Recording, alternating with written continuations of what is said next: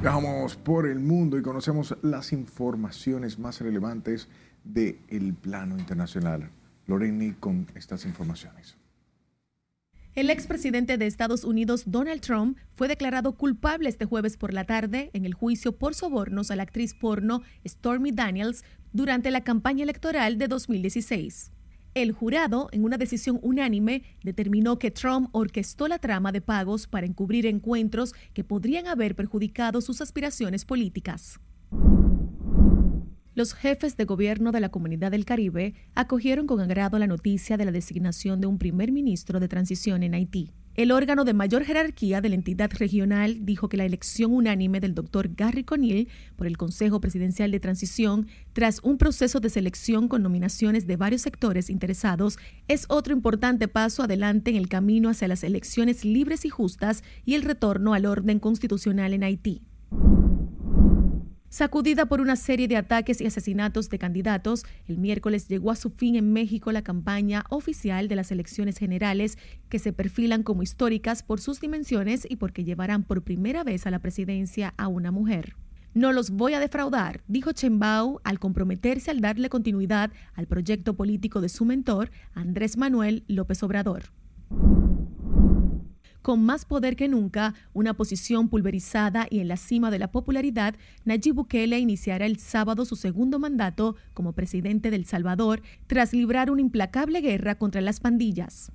Este publicista millennial de 42 años, reelegido en los comicios del 4 de febrero con un aplastante 85% de los votos, gobernará por otros cinco años con un control casi total del Congreso y del resto de instituciones del Estado un grupo de por lo menos 14 trabajadores quedó colgando a varios metros de altura en un edificio en el centro de Beijing. Las imágenes son impresionantes, pues se ve a varias personas balancearse de un lado a otro a voluntad del aire. Se trató de varios empleados de mantenimiento y limpieza de vidrios de la CCT Uber Tower, que debido a los fuertes vientos que se registraron en la región, quedaron colgando de las cuerdas por algunos minutos. Los afectados quedaron colgados hasta que las autoridades llegaron al lugar para ayudarles. En un video se observa cómo algunos comienzan a bajar poco a poco mientras el viento los mueve de un lado hacia el otro. La evolución positiva del primer ministro de Eslovaquia, Robert Fico, que sufrió hace dos semanas un atentado que estuvo a punto de costarle la vida, permite entrar en la fase de rehabilitación, informó el hospital donde permanece internado.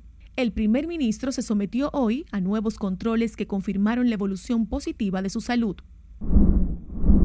Una colección de 4.000 menús de banquetes oficiales que se remontan a la época de Napoleón III hasta la actualidad saldrá a subasta este viernes en París. El lote pertenece al chef francés Christopher Margin y su venta supone una primicia mundial según la casa de remates Milon. Estos menús están a la espera de muchos que desean saber los montos de la subasta, pero no será hasta el viernes que se detallarán el costo de cada uno. Entre los menús que pueden ser admirados en la sede de Milon hay curiosidades para todos los gustos.